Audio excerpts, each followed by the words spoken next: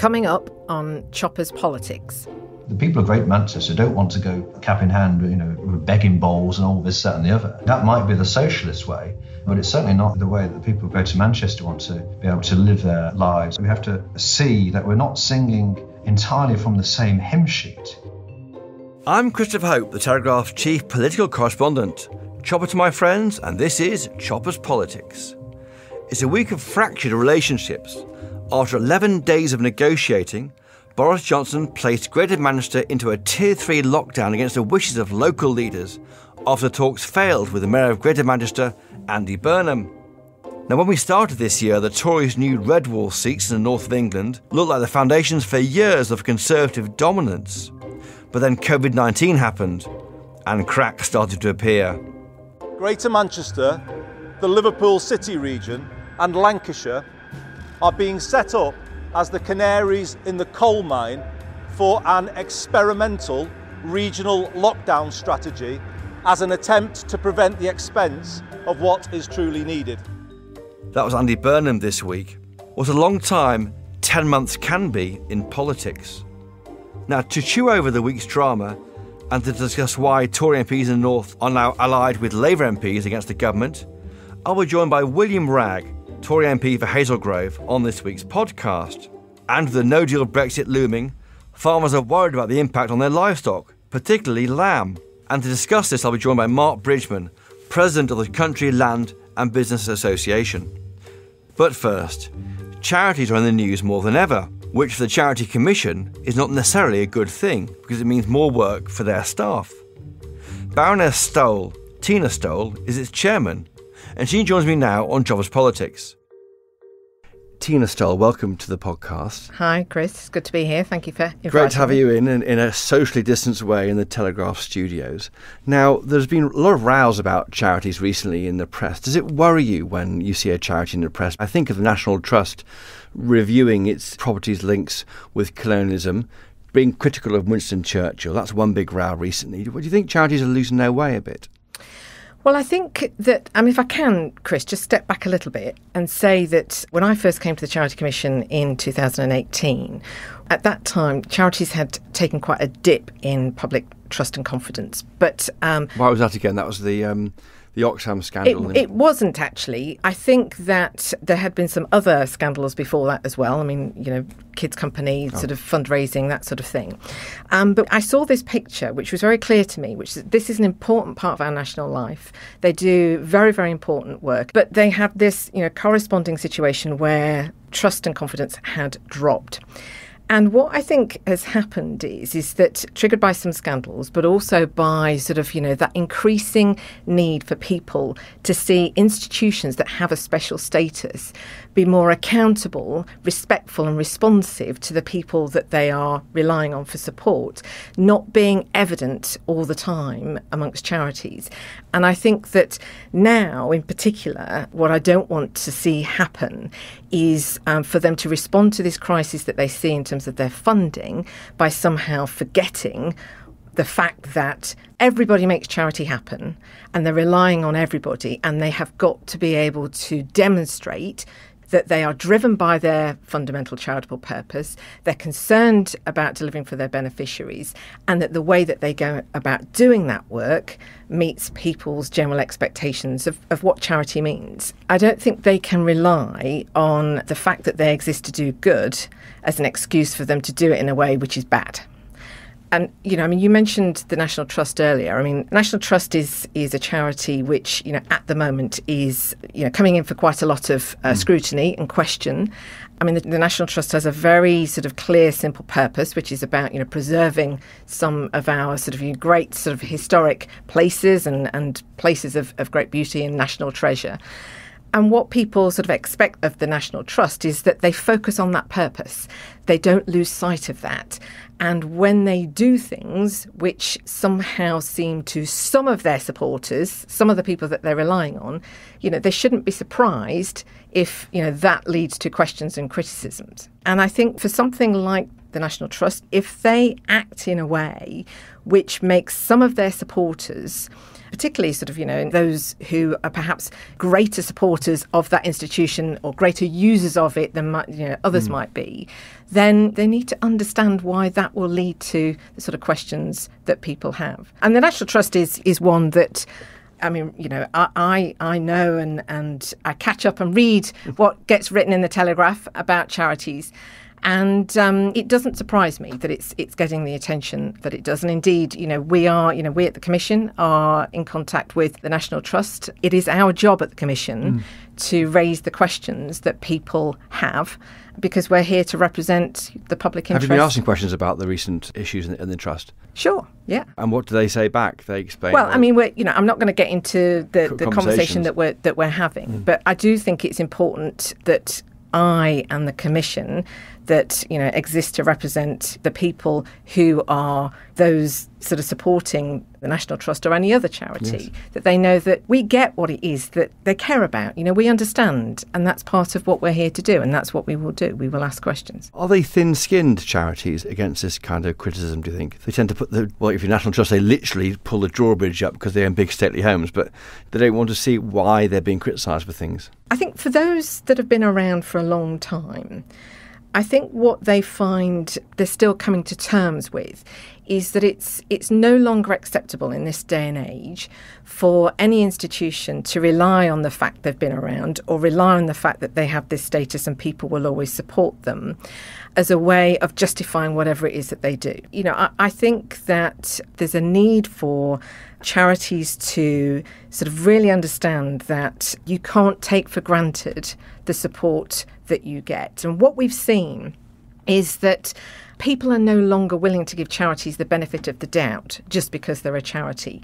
They expect a charity to constantly show that they are different from a business, that they are motivated in a different way, and that how they go about their work and how they ensure that as much as the money that they raise or that is donated to them is used for that end cause.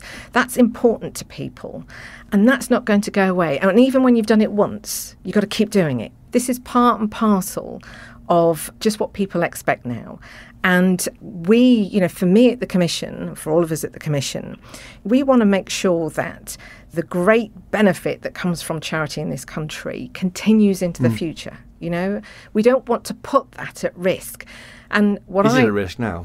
Well, I, I think that I think there's two risks really. You've got the risk that a lot of big charities are, are facing in terms of you know the financial situation that they're in, but you've got this bigger risk that people will start to question if you're not careful whether or not registered status is one that they're you know they're willing to sort of rely on in the way that they have in the past. And I'm not saying that's about to collapse no. or anything. I'm not saying that at all. I think that you know for us at uh, you know at the charity commission you know I take very seriously the expectations that people have of that registered status but, you know, like anything, you can't be complacent about this. Mm. You can't, as a charity, just assume that what you've enjoyed in the past will continue into the future. Should they be paying bonuses to board members? And I've always been surprised when that happens, for example. Senior chief exec pay is a very sort of touchstone issue for people. I mean, it's very much a sort of symbolic way that people can get some sense of whether, in their mind, this is an organisation that is is different from a business, is motivated and driven, and there should be a discount, a charity discount in pay for them. Well, I mean, I think that one of the things we've done at the commission very recently, we've just relaunched the charity register. So you now, you know, you can look at the register of charities online and you see much more information about each individual charity than you have done before. And it includes now, in brackets of, I think it's 10,000, a number of people who are employed, over 60,000, what salaries that. So you've got much more information now available to people. And we did that because we know that matters to people. What I say to charities is that we at the Commission, we're not a pay regulator. It's not for us to set pay caps. That's not what we're all about. But the decisions that you make in terms of how much you pay a chief exec, you've got to be able to justify that, you've got to be able to show that the decision that you made in the context of that person mm. was because of what better result will, will flow from it. What you can't do, and what is unacceptable, is to say, well, we've set that pay because they could have earned so much somewhere else. That's not good enough. The kind of justifications that, that people might make. So, you know, I, I, I completely understand why this is important to people, and it's why we have made the information about pay so much more available to people. And one of the things that we're also going to do before Christmas, we'll be publishing a paper on senior pay in, in charities and bringing sort of you know even more transparency in order to show what's going on in terms of pay because we know it's important to people. And the figures are published in the, in annual accounts, so you can see them, can't you? But make them you more can. easy to see, more easy to view. You can see them, but I think it's like everything. You know, there's a minimum standard, so there's a legal regulatory obligation on charities in terms Yeah, of their disclosure. But actually, you know, is that enough? Mm. If you really know that the people who you are relying on need a constant reassurance that you are what you say you are, Mm. then you find ways to, you know, to be able to demonstrate that to people. When it comes to explaining or justifying pay, not only is it not good enough to say, well, you know, this person could have earned X amount somewhere else, which is what you often see in a business. I mean, that's that's not good enough. The other thing which is not good enough and which sometimes charities tend to rely on is that running a charity is very complex and they're operating sort of in complex environments. Now, in many cases, that is true. I mean, some of the household name charities which people are familiar with, yes, they are, you know, very, very massive, complex organisations. But the expectation of them is even more that, you know, they understand that they are, they're the poster child of charity, you know, so they have an even larger responsibility, mm. really, to show that they're doing all they can to uphold the reputation of charity because if they aren't doing it, then, you know, Yeah. who is? Did you think there aren't enough people from all parts of society on these boards? That some boards get slightly captured by a certain interest group, which takes charities away from people who give money to the charity.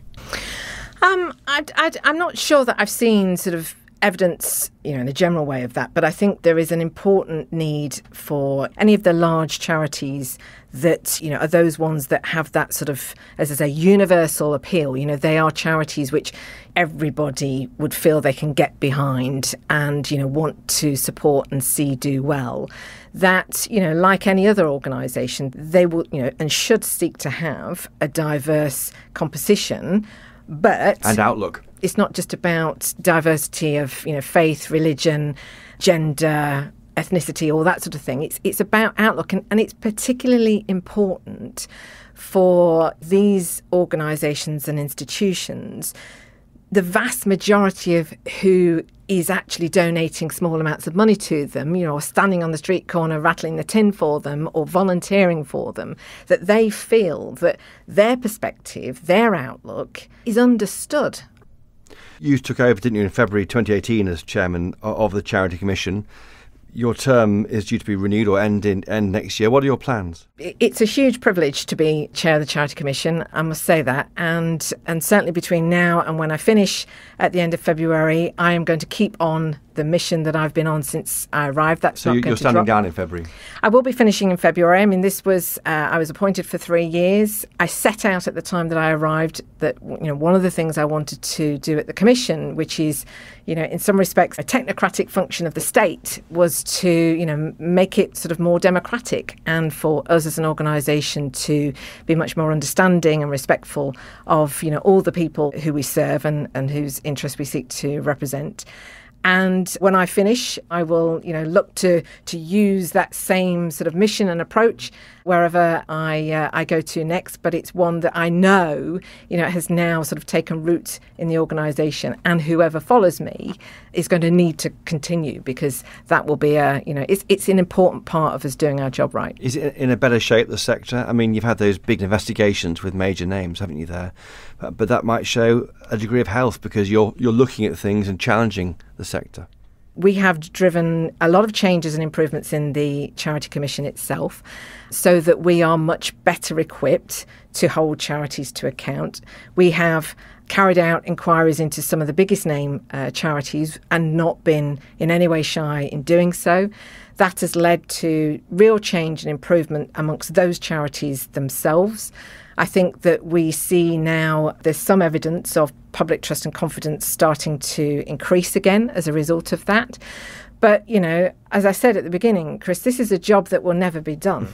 This is something which will continue and must continue because I've been quite challenging of the charity sector, and I make no apology for that because I care very much about all that it achieves.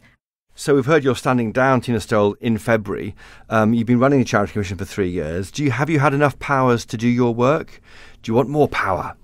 Well, what I can tell you is that we've used our powers considerably over the last three years, and, and we've used more powers more often than ever before. The power that we have to disqualify trustees, for instance, we used that 32 times just in 12 months Which alone. compares with. Well, I mean, you know, there didn't used to be that power in the past, but it's like statutory inquiries, which are the most serious inquiries. When we open those, that's using a power.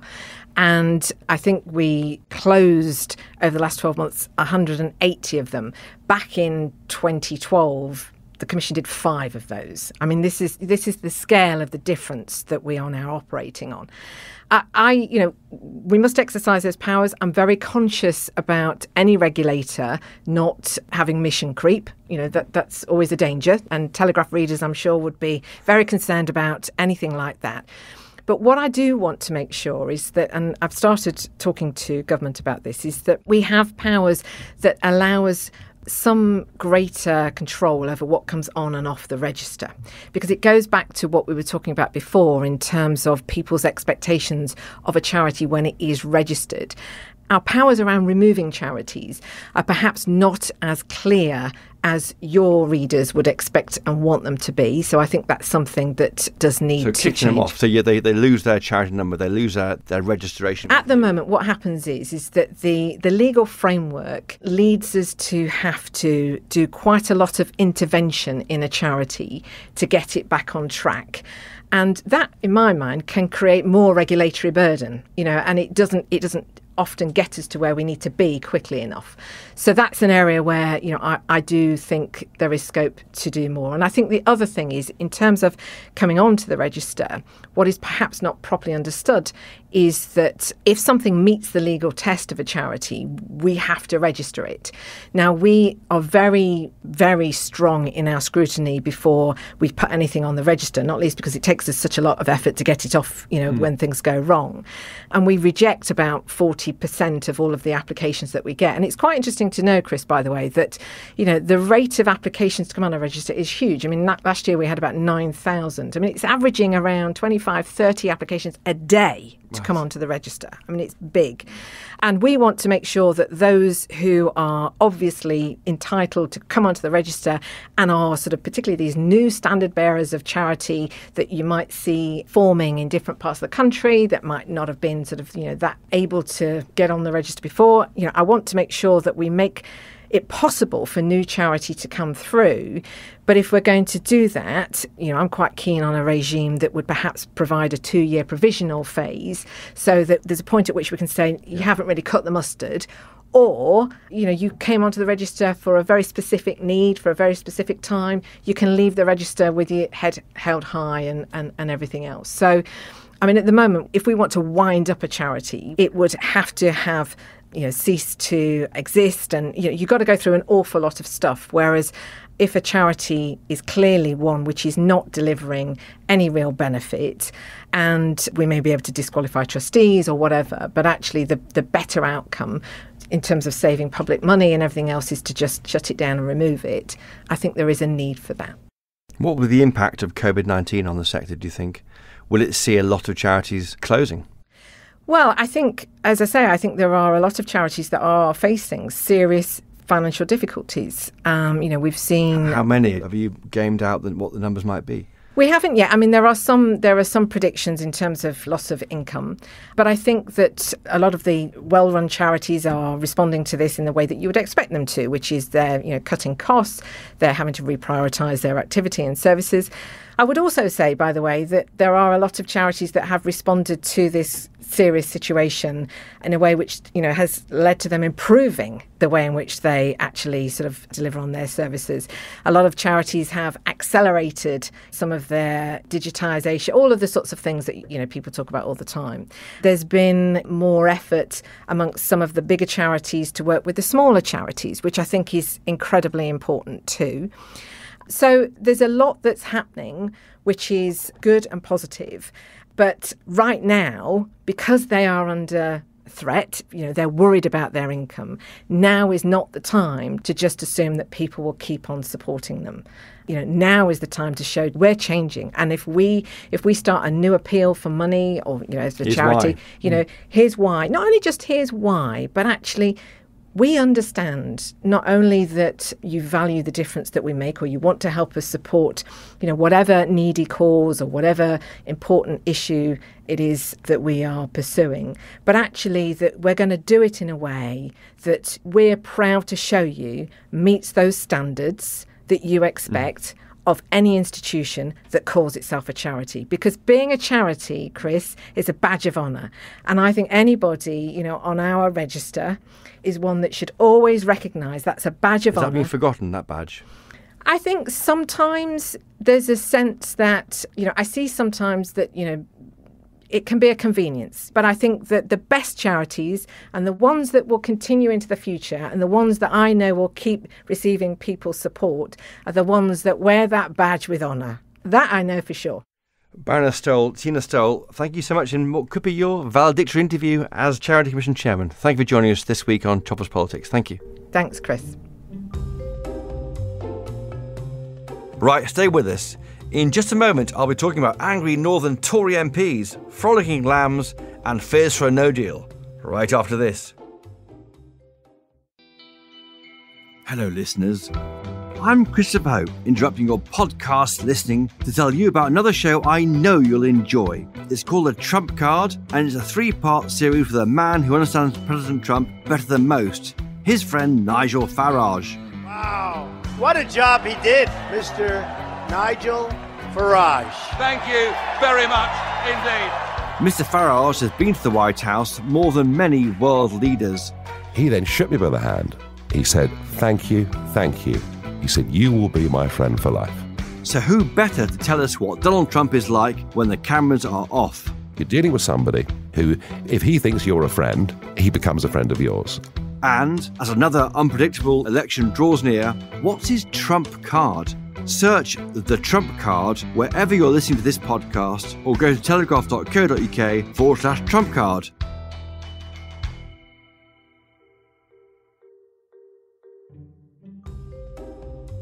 And we're back. Now, this week I wrote a tweet that went a bit viral after I revealed how a Tory MP told me the following about the Mayor of Greater Manchester. The MP told me, We are on the cusp of having Andy Burnham carried shoulder high through the streets of Manchester. He has demonstrated courage and principle, hope and determination, and a spirit that the British people can be proud of. This is not normal language from a Tory MP, people. What crazy times we live in. And to discuss these times, I'm joined by William Wragg, Tory MP for Hazel Grove, and I should add, not the source of that quote. William Wragg, welcome to the podcast. Now, you're turning into a bit of a Thomas A. Becket, a turbulent MP, not a priest, a turbulent MP. Why do you vote against the government on a Labour Opposition Day debate on Wednesday when they try to put pressure on Backbench MP to support more measures for Tier 3 companies? Oh, well, well, thanks for having me on, Chris. But I think I vote with a heavy heart uh, against my own government. Perhaps it was a sense of frustration with the general situation, but certainly a need for me to send a clear signal to my constituents that they uh, were first and foremost in my in my thoughts, rather than any apparent obligation to the party whip on that occasion. Yes, and you've been speaking out, haven't you, quite a lot about the failure of leadership here. And that's not easy for a Conservative MP, is it, to be forced to turn on your government in this way? Yes, but I think it's also been interpreted that I'm just critical of the government. I'm certainly not not not No, critical of that. I'm, you know, any, criticising everybody it seems at the moment. But I think, particularly with the uh, the theatrics of the mayor and all of his shows and nonsense, I think it's no wonder that there's been a, a, a sense of collective failure. Hopefully, from today, I think we might be able to salvage something and and, uh, and move forward. Well, we'll- come on to the end of the week uh, later, but let's quickly just run over what happened this week. Do you think the government made a mistake in trying to get Andy Burnham to sign up to these measures, given how ruinous they might be for local businesses? I mean, there's no way he would have done it with an election in May. Surely he wants to make out that it's the central government locking down companies that could lose jobs. No, and I think from from his position, he he never really was going to do so because he would always be able to blame the government for uh, not providing enough support. So I think it was rather rather an interesting choice to enter in negotiations with him, particularly given that he doesn't have any statutory obligations in this area. It's, it should have been really done via the uh, local authority leaders, and particularly involving Conservative MPs in the process. And I think we would have avoided much of the unnecessary spectacle and uh, whipped up anger that, we, that we've seen. And I, I include myself in part of that spectacle, of course, as a mere walk on part. But I think we could have avoided much of that difficulty had it been approached in a slightly different way. Why do you think Number 10 has been a bit tin-eared towards these negotiations? I don't think they've been, I don't think they've been tin-eared. I think what it is is, you know, backdrop's a pandemic. It's a completely unprecedented time, and then we've also got new sort of structures of, of local governance which really haven't been tested before. I mean, I was completely against elected metro mayors, and I think actually my opinion hasn't really changed. I have to say, and you know, if you know when these were created, they were done without any reference to the you know the existing governance structures. And so, with an issue like this, and combine that with the prospect of a mayoral election next year, and everyone's been so well behaved so far, then it was hardly surprising that a sort of conflagration was going to uh, come about something such high stakes and high politics like this. Yeah, do you think Andy Burnham has been trying to push the idea of this kind of victimhood status of the North and, and, and has used that really to sow division here when it wasn't there before? Well, he's had to find a purpose for himself. And I, I don't mean that, you know, flippantly and insultingly. I, I mean in terms of what are the mayor's statutory obligations. And by the government negotiating with him, they, they've given him that platform to which he's done his usual star turn. And I, I think, therefore, he has been enabled, perhaps unwittingly, by the government to, to find a, a sense of purpose and then also be seen as a voice for a lot of pent up frustration, which I think is felt by people across the country, not just in Greater Manchester, but a great deal of pent up frustration, which is only natural when you know people's lives and livelihoods are, are, are limited to aid the fight against the pandemic. Yes, William Wragg, uh, this wasn't you, but I was told by a Tory MP that they thought we were on the cusp of having Andy Burnham carried shoulder high through the streets of Manchester. And the MP said that he had demonstrated courage and principle, hope and determination, and a, a spirit that Britons should be proud of. do, do you worry that? Well, how? Why on earth are your colleagues thinking this about Andy Burnham? Well, that certainly wasn't me. I think No, if, it wasn't it was you, me. I, I, I, I'd perhaps be a little more sarcastic in my remarks, such as you know a, a Les Mis audition, which seems to have been taking place um, in, in, in Manchester, really. No, no getting away from the fact that there is strong public mood, and certainly for my constituents, whatever their political persuasion, actually, they have been very supportive of those of us who have been seen to sort of speak up and, and voice that concern. And again, I think that comes from, Chris, from the frustration, which is only natural in people who are having their lives and livelihoods curtailed in this pandemic situation. You got there in the end, didn't you? The government eventually negotiated or spoke to the individual councils, or a dozen or so councils in Greater Manchester. So the money is going to go there, 65 million pro rata, what Liverpool and Lancashire got. Is that, is that how it's going to work then? So basically cut out these metro mayors if they're being difficult? Well, it, it is pro rata, but, but again, I mean, I, I take you back to my sort of fundamental uh, objection to tier three. I think the difference between those Conservative MPs like me who've been sceptical of this situation and have spoken out, and Andy Burnham, is that to Andy Burnham and, and others, it's all about how much money they can get. Well, that, that's fair play. They're socialists, that's what they do. But I actually think that people in Greater Manchester, the businesses in Greater Manchester, given their investment that they've made, whether it's various public venues, hospitality, this, that, and the other, the investment that they've made to be COVID secure, they actually want to stay open, be able to trade. They want to be able to support themselves and support other people in employment. The people of Great Manchester don't want to go cap in hand, you know, mixing metaphors with, with begging bowls and all this, that, and the other. And that might be the socialist way, but it's certainly not the way that the people of Greater Manchester want to be able to live their lives, obviously cautiously and in a, in a COVID secure way. So I think that we have to see that we're not singing entirely from the same hymn sheet, although the harmony at the moment seems to uh, seems to chime quite well. I wonder if you think Greater Manchester went in too quickly to Tier Three because talks in the northeast have stopped overnight. We're recording this on Thursday morning. In Nottingham, numbers are down again week on week, and they're only in tier two. So I wonder whether there may be a, a, concern that the government rushed too quickly into tier three in some parts of the north. Yes, and that's what I've expressed. And I think perversely that as of Cinderella o'clock this evening, when everything, you know, just past midnight, everyone has to uh, close everything down and, and shut up shop. I, think actually it is a, a premature move. And my concern actually is that if you're not allowing people to um, you know go to places in a COVID secure way. They're simply going to meet in each of us homes, where we know that the transmission rate of the virus is much higher. And so, perversely, I feel that tier three could make matters worse as well as having a, a, a severe economic hit. And so, you're, you're right in, in, in, drawing on the data from other parts of the country because what we were seeing in some parts of Greater Manchester was a flattening or indeed a falling of the daily case occurrence. And now, uh, you know, that needed perhaps a little more time to be analysed and, and, and to run through. But I, I really would be very disappointed if this has proved to be not just a premature move, but a counterproductive move as well.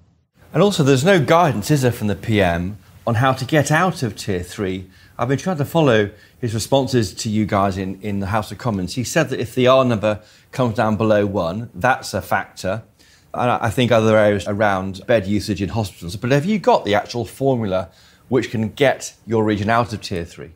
No, listen, in, in, in all of this pandemic, as Orwell said once of language, it is data that is power.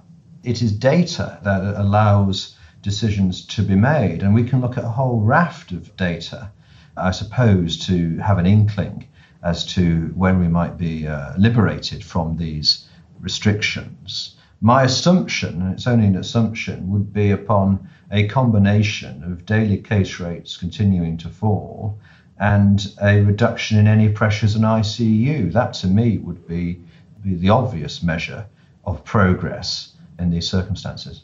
Have you had any, any difficult conversations with your whips this week? Because uh, you've been fighting half your region, you've had to, but have they been a bit cross about some of your, your outbursts? The Whips are a very, very forgiving and generous and benevolently spirited cast of people. so I, I, couldn't imagine that they could ever be cross. Um, I think. I think, though, I, I do. I do. I don't believe a word of it. I'm lying through my teeth, Christopher. No, um, the whip always needs you for the next vote. Yes. Okay. So yes. They look it, forward, it, not back. Okay. It, indeed, it is pointless dwelling too often on whipping misdemeanors. Although the, the great problem I have is that I like them all, and I have a sneaking suspicion at least a few of them don't mind me. So it's an interesting relationship. Do you worry about the long term damage to the government in the north, of the red wall seats, the, the seats which we talk about as being important to hold the government's majority for, uh, in 2024? No, because I think there's plenty of time and there's plenty of good things that are going on and uh, lots more uh, of that will be able to uh, take place over the coming months and years. And I think we have to always bear in mind that the current time is set against the backdrop of a pandemic, which is going to be far from plain sailing, as we've seen. And really, I do have uh, great hopes of, of, of continuing revitalisation for the Conservative Party in the north of England. William Wragg, Tory MP for Hazel Grove, latter day, Thomas à Becket in the north telling the government like it is for local people up there. Thank you. Thanks for coming on. All the best. Very kind of you. All the best. Now, away from COVID, the C word, and onto the B word, Brexit. Like a couple who have spent too much time stuck together during lockdown, the relationship between the EU and UK hit another bump in the road during the tortuous journey towards a possible deal to leave the European Union at the end of this year. One group worried about that news and worried about what it might mean for them are farmers. And this week I was joined by Mark Bridgeman, President of the Country Land and Business Association, or CLA. Mark, hi, welcome to the podcast. Hello, thank you. Mark, you're worried particularly about lamb exports, aren't you? What's your concern? Well, I think all food exports, but lamb, if you like, is the one that's probably going to be most affected. Our concern is a huge amount of lamb is exported to Europe, around 40% of our lamb. And it's 90% of all of our lamb exports goes to Europe, and it's a big chunk of what we produce. And we're going to see tariffs, if we have a no deal situation, of around 60%. So our lamb would automatically become uncompetitive on the European market. It's the impact that our main trading partner will have, the knock on effect. So if we can't sell lamb into Europe, it's going to mean we've got a huge surplus in this country, an imbalance, and that will drive down prices. In fact, we might not even be able to consume it because the sort of mismatch on consumption. You know, so lamb might end up having to be put into cold storage, and you know, certain times of year when sort of peak times for selling lamb, you know, we're going to have a massive distortion in the market, and we could see a big fall in prices. That's our concern. It's coming at at the same time as, as a result of Brexit, we're moving away from the common agricultural policy. Um, the common agricultural policy for a lot of farmers, the, the basic payment scheme, the subsidies that come into the farming sector, for a lot of sectors, particularly these livestock farms, that basic payment is crucial. So if you have a combination of basic payments being removed over the next few years, which is the government's plan, and a no deal and tariffs on our exports, it could have a, you know, a double whammy effect on this sector. It could do, but equally, the government says it wants to wants to replace that money by rewarding farmers for other things too, for looking after their, their economy of the local uh, area and making it more available to more people. All these ideas of, of public goods could find farmers rewarded in different ways, so the money may not fall at all.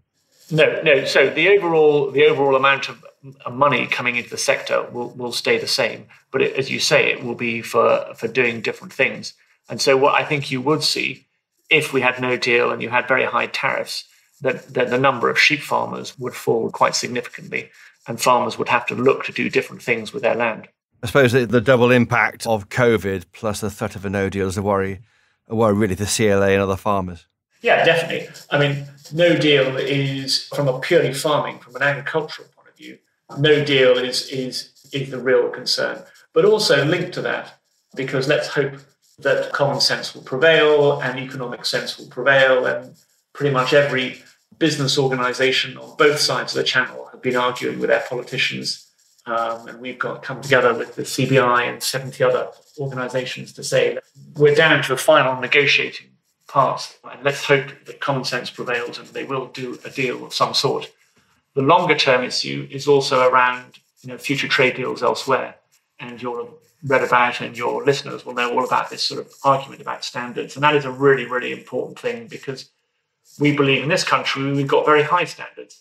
And its standards, it's not just about food safety, it's much broader than that. It's about the, the environmental standards that we comply with to produce food and the animal welfare standards that we comply with. Um, and so, if we're being asked to, to comply with these and we are leading the way internationally, and certainly have been within Europe as well, it would be wrong, we believe, to import products that are produced to a lower standards for all sorts of reasons, both competitively, um, environmentally, climate change, and, and, you know, so on. And just, just finally, uh, Mark Bridgeman, uh, you mentioned there about the issue of importing food which are of a lower standard.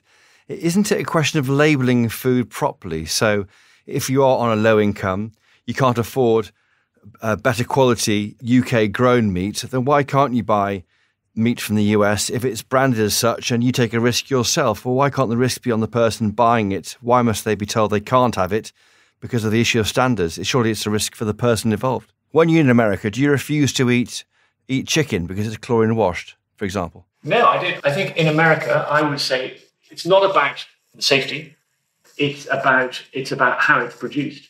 And obviously, if you go into a supermarket in America, you can choose different types of chicken. And I, I get your point there. But then, on, on what basis do you then say, if you take that to its conclusion, then you might as well stop farming in this country? Well, no, no, not, not really. But what I'm trying to say to you is, don't you think people should have that choice themselves to choose cheaper food imported if they know it's imported, they know it's been bred in difficult conditions, but that's their choice because they may not be able to afford the better quality food grown in the UK? Personally, I don't think we should be allowing, if something is, we believe is having a negative impact on, say, the environment, I don't think we should allow it. If that food on the supermarket says it's had an impact on deforestation in Brazil, that soya fed beef, yes, people might buy it, but do you not think as a country and as a, as a government we ought to lead by example? If we genuinely believe in you know climate change or or turning around global biodiversity loss, which I, which I do, Mark Bridgeman, the very best for you as you approach this difficult time towards the end of this year with your farmers. But thank you for joining us this week on Choppers Politics. Thank you. Thank you for having me. Right, that's all we have time for this week. Thank to my producers, Louisa Wells and Elliot Lampitt. And most importantly, thank to my guests this week, Baroness Stowell, Tina Stowell, William Wragg, and of course, Mark Bridgeman. My guests, as ever, were telling it straight today and someone else calling themselves Telling It Straight left a review on Apple Podcasts. They said, Excellent podcast with consistently good material, interviews, and chat. Recommend. Well, thank you, Telling It Straight. We aim to keep booking guests who, like you, tell it like it is. And if you've enjoyed this podcast, please do leave us an Apple rating and a review, just like Telling It Straight. It really helps other people find this show, and we can't thank you enough. And another way to support our brilliant journalism here at The Telegraph is by taking out a subscription. You can get 30 days free access to our content, free of charge, by going to telegraph.co.uk forward slash chopper. After that, you pay just £2 a week. And if you want to get in touch to sing our praises, offer a criticism, or even offer up a guest, please email us chopperspolitics at telegraph.co.uk or follow us on Twitter. We're at Choppers Podcast. Finally, as ever, from the team here to you all, please always buy a copy of the Daily Telegraph if you can. You won't regret it. Until next time, cheerio!